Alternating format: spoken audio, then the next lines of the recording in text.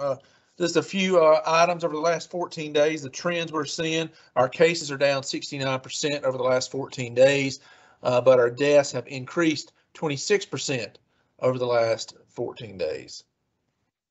Uh, cases per week, we just received our number, our weekly report from the state this morning showed that we had 1,074 cases the week of February 6th. So you can see where we are.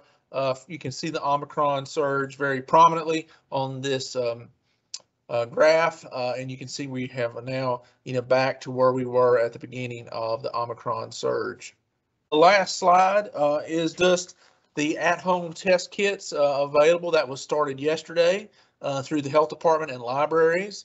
And this is pretty um, pretty well updated. This just um, Todd, I believe you posted this uh, about four or five hours ago. So there may be some branches that are out, uh, some more branches, but you can see we partner with the library system because they have 10 branches, uh, really trying to make the test kits uh, more available.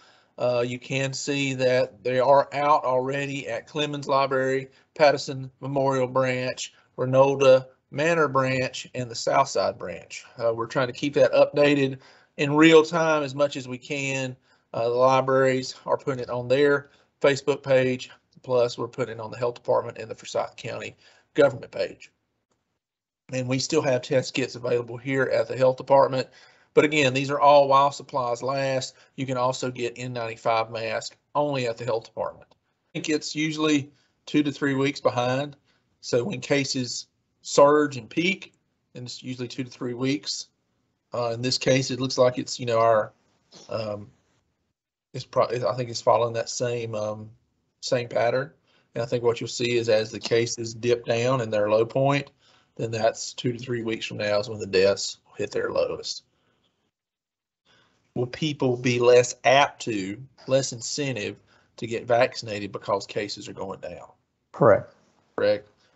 Um, that may be the case. I don't think it shouldn't be because, uh, you know, when you look at the number of individuals that are uh, with the vaccine, fully vaccinated, I mean, you still have, even in 25 to 49 year olds, you have 38% that are not fully vaccinated. Uh, and, and, so, you know, and, and then when you look at 18 to 24 year olds, you have 44% that are not fully vaccinated. So you still have large portions of the population that are not fully vaccinated. We are fortunate that when you look at our 75 plus, only 7% are not fully vaccinated. Only 12% of 65 to 74 year olds are not fully vaccinated. So thankfully, that most vulnerable group is the highest vaccinated group. Uh, but, you know, this is still uh, as, uh, you know, as we see in other states as masks are coming off or scheduled to come off, uh, you know, as that begins to happen, people that are unvaccinated are going to be less protected. So that's, you know, a reason to do that right thing and get the vaccine. You've seen thousands of people in uh, Forsyth County. I think it's last count 220, 250,000 people that have gotten the vaccine. So there's a large portion of the population that's gotten the vaccine. Vaccine. If they did get COVID, which that can happen, is those breakthrough cases. It's very minor.